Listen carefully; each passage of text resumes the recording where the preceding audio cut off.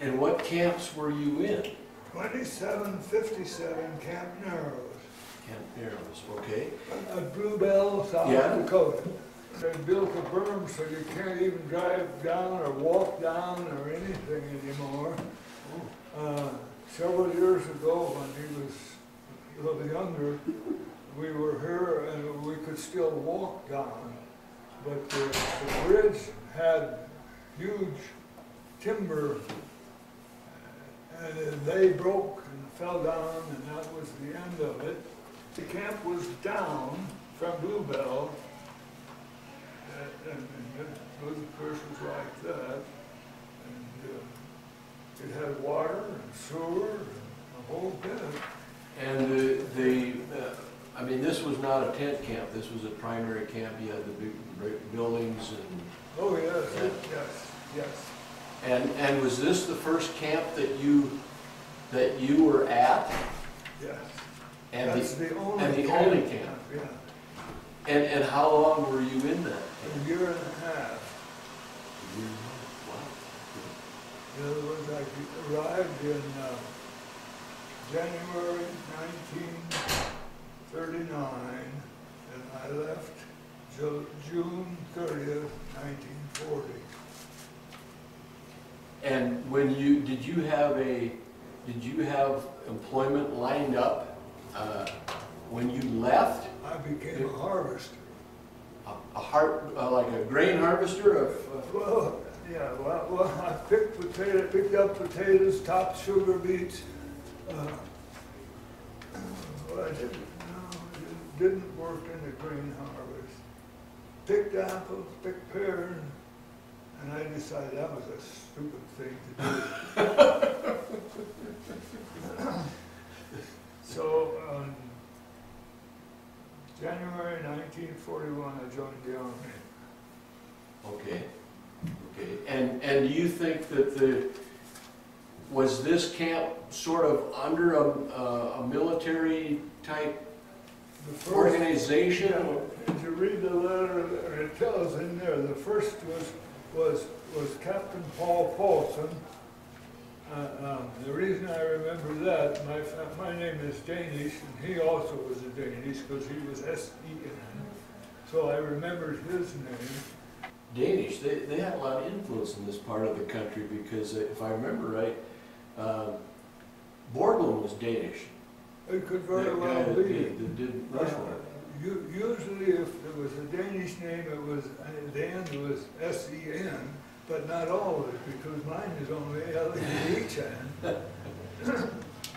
And, uh, Uh, speaking of Rushmore, did you, did you have anything to do with Rushmore? Did you, did you guys go up there at all and do, do anything or no? I remember the first six months, there was a crew that went and hauled slash. I didn't ever work on that crew, but there was a crew that went every day and hauled the, the, the the rocks away to someplace. Sure. But that only lasted the first six months, and they quit going there, so they changed something. Okay, okay. Uh, Otherwise, they went off, well, they worked in Wind Cave, and we fought forest fire and all that sort of thing. We built buildings at the Custer State Park office, things like that. Okay. So we were pretty much localized. uh, uh, I didn't, I was fortunate, I got to work with a man named Harvey Jones. And uh, we taught, well, I- he taught me how to put shingles and to lay oak flooring in the building. That was one of the Custer State Park offices Okay. of some kind that night. Is that the Harley Jones that had the buffalo broke to pull a wagon? I don't know that at all. Uh, He probably was capable of doing that, but uh, I only worked out in the field for six months. And then the man who was running the exchange uh, quit, went away. And, and I told him that, well, I studied bookkeeping in high school, I could do that. So I ran post exchange for, for one year. So that, I- that excluded me from a lot of stuff that's going on.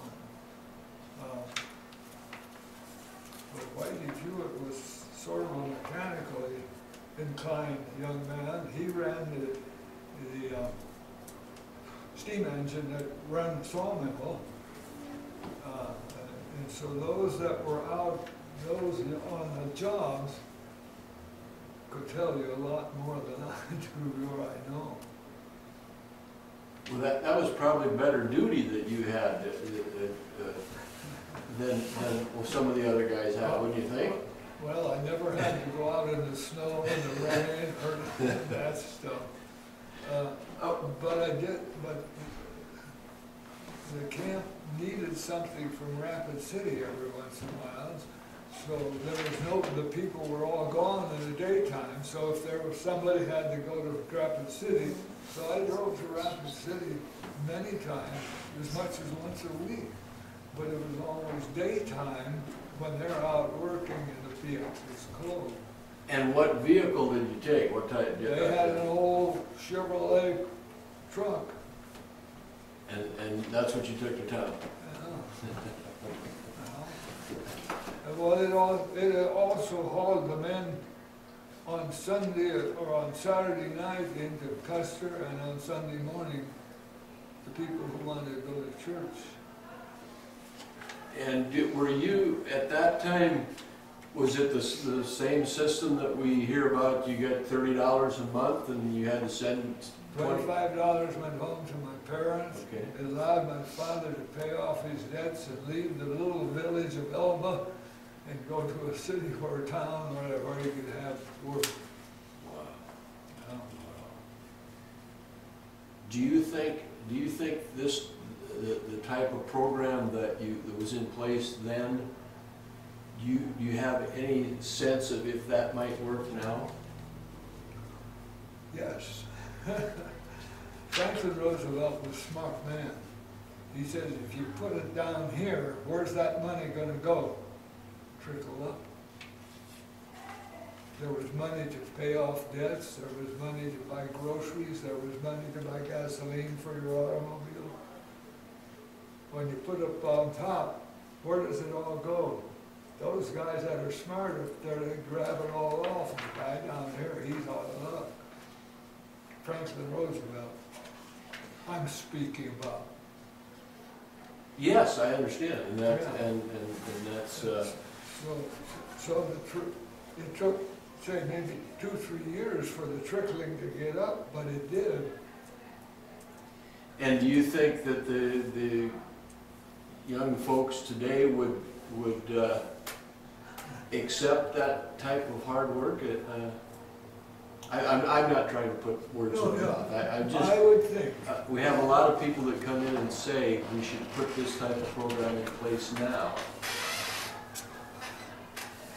well, one of the things that occurred because of that program, when World War II started, they had all these young men already trained to live together and, and to respond to orders and, uh, yes, I think it was a very good program.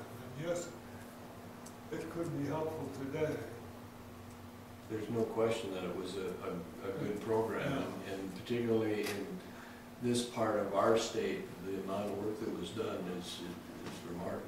Well, it was a good program in Nebraska too, where I'm from, course, that's Everywhere. where. So where I worked and where I'm from seemed to be greatly helped by, by all of them. Yes. Yeah. Peggy, do you have any questions? I, I'm Oh, yeah. just kind of rambling on here. Well, you said you had a site camp at Wind Cave. Yeah, that, do you know what that means? Right, and I was just wondering, um, this was because Wind Cave Camp had already moved out to the Badlands. Yes, Is that right? yeah, Okay. well, it must have been because Yeah, I just remember we had a group that went down there and I think they only stayed a month. but as I understand, they work down in the cave itself, setting up the lighting and whatever. He told me something this morning about somebody he talked to about getting the concrete down, and they won't tell him about this. And that was a really interesting story. They took the inner tubes, like truck inner tubes, and they cinched up one end and bound it up, and they'd pour the, the liquid, liquid concrete into the inner tube, and then they'd cinch and they'd carry this thing over their shoulders down into the cave to uh, pave the walkways within the, within the cave. What kind of things did they, did they sell in the post exchange? Uh, not, not cigarettes, there was no tobacco. Uh, Candy products, uh, shaving products, uh, personal grooming product, pro, you know. um, And being we didn't have electricity twenty-four hours a day, that eliminated the possibility of having frozen stuff. Uh, there was, I don't know how they did it, but in the evening, there was electricity in the post exchange. And there was electricity in, uh, in the, uh, in the cooking facility.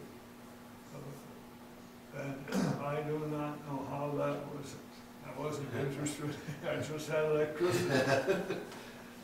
But, uh,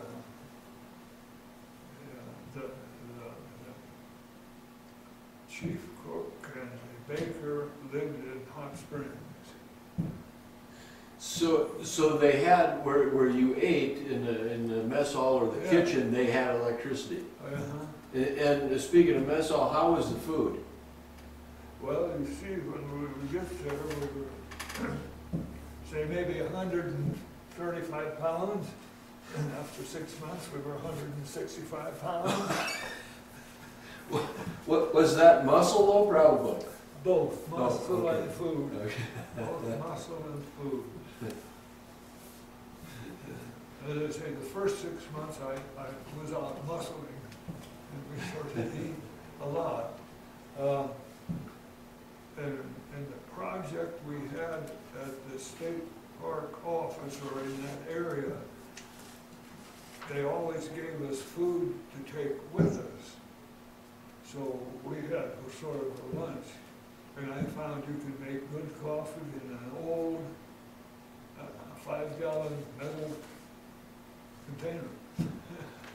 I also learned that in four days, you could treat, teach a uh, young deer to come and eat out of your hand.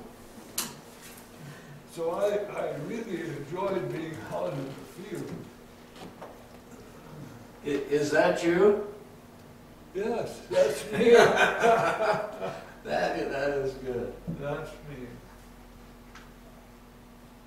So you had a pet there, right in the, uh, right in Well, the. the- the- the- Well, you can't. The mother deer was way back here and she kind of would keep coming a little closer and there was a buck, but he was always way in the back. He never got close. But the little one came, so she finally, in about four days, she got hold it and she'd come up and eat it out of my hand. You say that. For goodness sake. Oh yeah, there, there is a deer in the back. I didn't see Yeah. that. That was pretty interesting. Uh, So, so be, besides giving young men something to work, we had opportunity to get into nature and see what we could do, and, and it was very interesting for a flatlander. Like, if you've ever been to Nebraska, you can see for miles.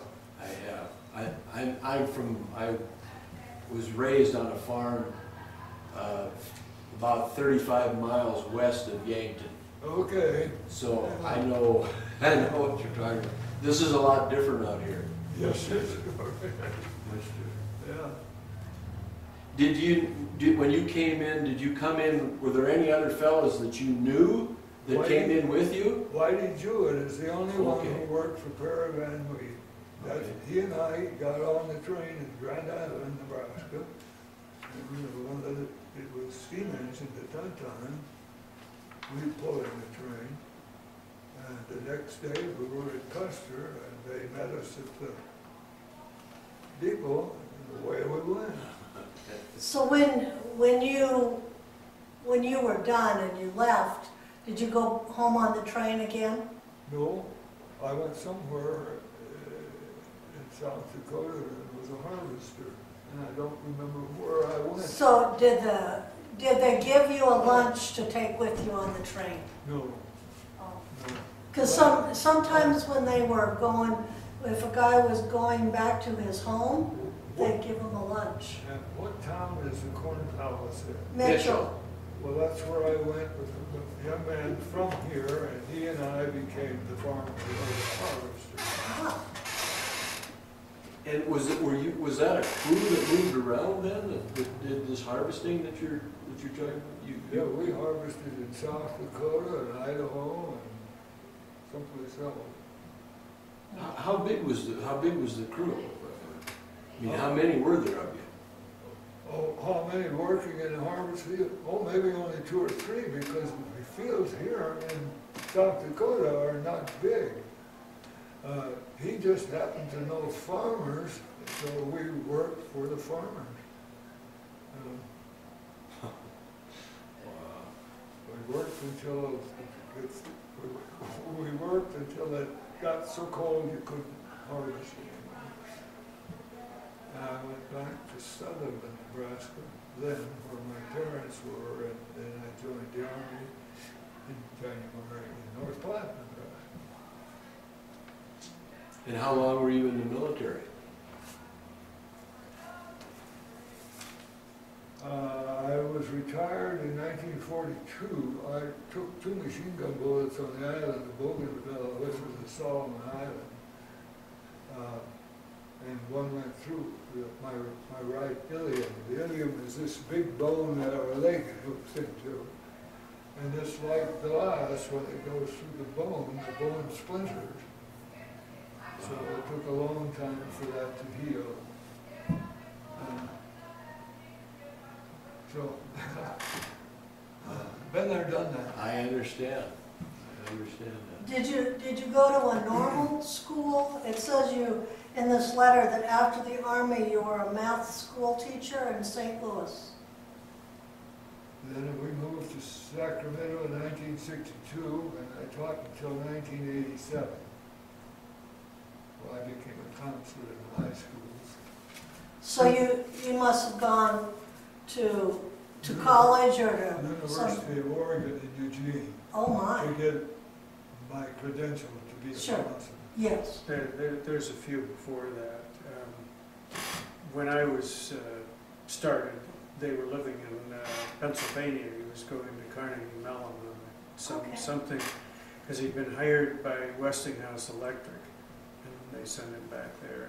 He was working on maybe a, an electrical engineering degree, and then he, um, my mother was from St. Louis, so back to St. Louis they went, and, uh, he, uh, my, my whole growing up till I was twelve or thirteen, I remember dad went to night school, went to work in the daytime. Um, And like, like he said, we moved to California in sixty-one or sixty-two, and uh, both he and I were going to uh, Sacramento State College. He was working on a master's degree and teaching credentials, and I was working on a bachelor's degree. We, we weren't there at the same time because he was working in the daytime and I was Sure. uh, your basic normal freshman going to school. And then uh, in sixty-eight or sixty-nine, he took a sabbatical and went to the University of Oregon and got his uh, master's in counseling and then returned to the city school district in Sacramento and worked as a middle school counselor until he retired. So you were always in quest of knowledge. Oh, yes. if you get onto that system, pretty soon you can't get off of it. Well, that, that's a good system to be in. I have a question. My name isn't in here. It will be, It will be. in a few minutes, we'll put it in there. Otto printed these out here. I know. And uh, we, we we continue to work, um, the, the CCC published annuals through 1937. Oh, And yeah, after that, we're at the mercy of people telling us yeah, where they were, when they were. yeah. And um, as we, I, I have a lot of um, newsletters, so I'm going through those Oh, yes. getting names, and periodically, Otto prints out another set. The, the new and improved, most up to date. Well, I, I, Gary said, you know, well, maybe, maybe those three grandchildren he has might uh, come to South Dakota sometime, and we look for Grandpa's name. And, and Yeah. we will, we will. We'll, we'll get it in there. Yeah. Um, Did you guys get to go to, you, did you get to go to, you, you mentioned going to church on, on, I'm assuming Sunday morning, but did you get to go to town for, for, uh, I don't know, Saturday. A movie or, uh, s- uh, Saturday evening and Sunday and were there any, then I drove the truck to, to with the oh, okay. stuff, No. people back there. So I got to go every Saturday and every Sunday. Did, were there rule, did they, uh, how do I want to ask? I think, I think if they were, they had to be there by ten o'clock and we waited till ten fifteen and then we left. And if they weren't on the truck, they walked the eight miles. And were there, did any of these fellas get, uh, get any kind of mischief in town or? No. Okay. Never had a cause to go pick anybody up from the police station, never had any cause to, um, go there for a special reason, with some mischief or something. Not once did I, know in a year and a half. Um, Most of them were from very fo- poor families, and they knew enough and to, to not become pests. And they were hardworking young men. Were most of, most of the men in your camp that you knew, were they farm kids or city kids? I would say ninety percent were farm kids and ten percent city kids. Hmm. As I understand, in some areas, uh, destitute World War One soldiers were in the CC camps. Yes. But the one I was in was all young and out of high school. What, what we've read is that the, the veterans camps were separate. They had the veterans pretty much together because Yes. they were older and, and married and, Yes, yes, I understand, yeah, I knew that. and, and some, I just learned a couple years ago that some of the veterans were able to bring their families not to live at the camp, but They live nearby. nearby. And in Rapid City, there's, um, it's called Sioux San, it's an Indian hospital. And at the, at the time that the, the men were at, by Piedmont, at Calcite was the camp, the family stayed at Sioux San. It was, it had been a school, it had been an Indian school, and at that time it was empty. Oh, yeah. And later it became a hospital. But there was a lady that came to visit from, uh, I think, Indiana, who was a little girl and lived there. Oh, my Yeah. God. And so she went and visited with her daughter and, and a historian there at, at Sioux San. Did you have a driver's license? Did they have them at that time? I had my Nebraska driver's license, Okay, so, okay. cost me a quarter. I still remember it, I went in and laid a quarter on the counter and she handed me my driver's license. You did, there was no, uh, driving, t- No, no, just pay for your driver's license, that was all. They're still issuing them in the same county courthouse building Yeah. in St. Paul. is that right? Yeah, we went there on one of these trips a couple of years ago. Walked in and said, hadn't changed much in seventy-five years. You, s- you say, uh, you were there a year and a ha- and a half about. I was there, yeah, I was there, uh, three, six months period. And, and so you would have gone through a winter. We wore, uh, six buckle over shoes and twenty inches of snow, yes. And and during the, the, that period, what, what were the men, what, what, were- what were the duties? What were the, uh, Well, this man's name who should be on here, he can tell you that because he worked in that office that provided what we were all going to do. but the camp stayed together, I mean, the, the, all the men were there and they, Oh, they stayed the yeah. whole time. Oh, yes, yes. They wanted the uh, ceiling of the exchange to have the new uh, paper. I made the mistake of saying that's what my father did, and I kind of can do that. So they, I forget whether he said, well, here's the paper, and left. So I did do the ceiling of the new paper. The rest of that story is, was they, they didn't have any wallpaper paste.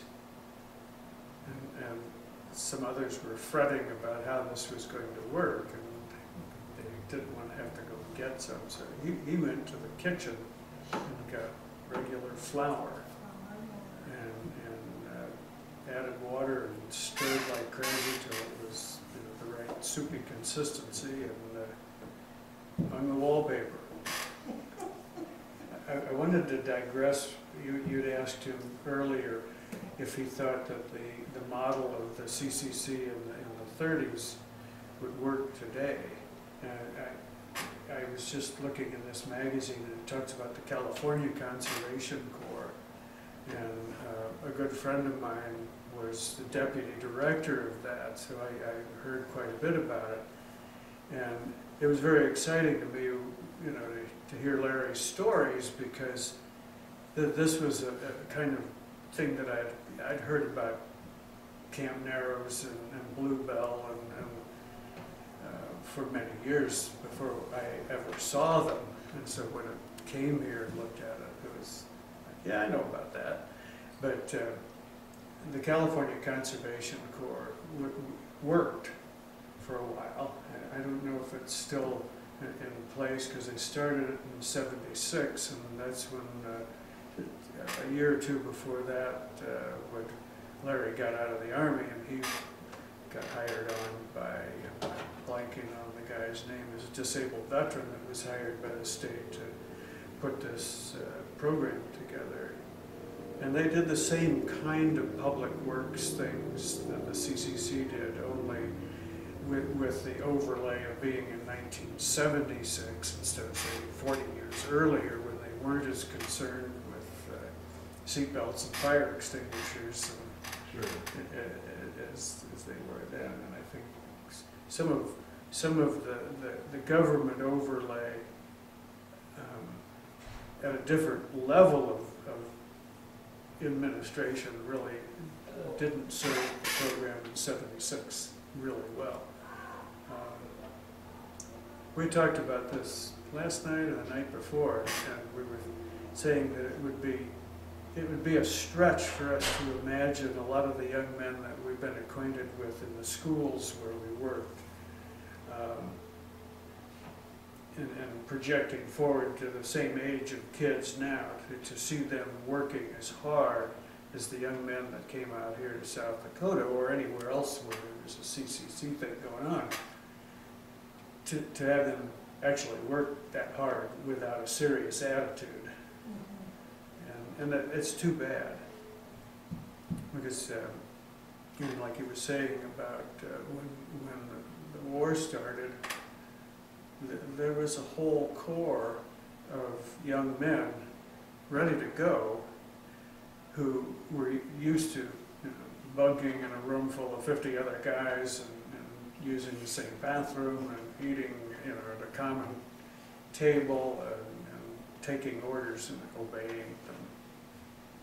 I think it's particularly in South Dakota and really particularly in this part of our state, the amount of work that was done Yes, and, and forgotten. I mean, I don't know how many people I talk to that, you know, they go through Custer State Park and they, they don't realize how much of that yes. was, Was done by the C- CCC. yeah, exactly.